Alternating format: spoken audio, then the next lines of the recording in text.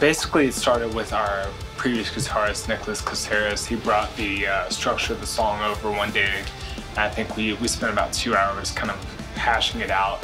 But to me, that really, really defined how I wanted Aesop to go.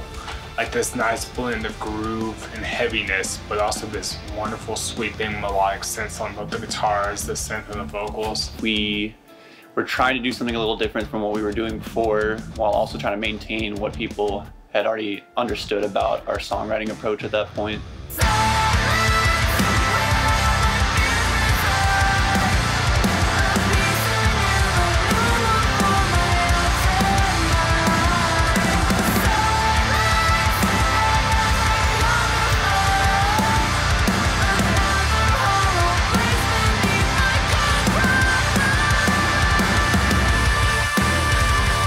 For the lyrics for Chiral, a lot of it had to do with being a person, you know, dealing with society, dealing with the internet and all those pressures of trying to be someone that everyone thinks that you should be, the ideal person or woman or, you know, musician even. I felt like there was all these pressures to be something that I wasn't and that I couldn't live up to.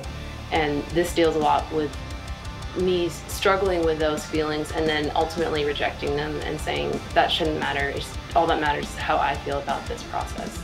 I remember when we had the initial demo done, we were all just like, this is it. Like, this is the song.